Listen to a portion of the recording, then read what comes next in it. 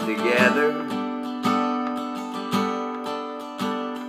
I got some real estate here in my bag. So we bought a pack of cigarettes, Mrs. Wagner pies, and we walked off to look for America.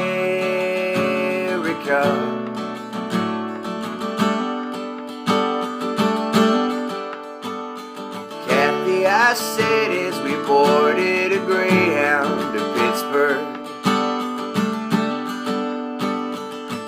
Again seemed like a dream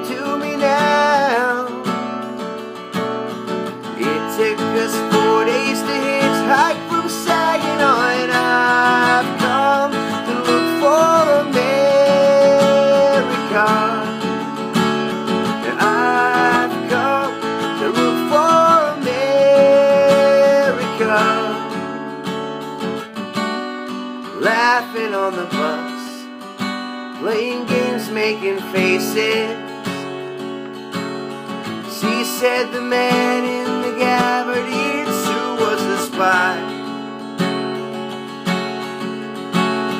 I said, be careful, his bow tie is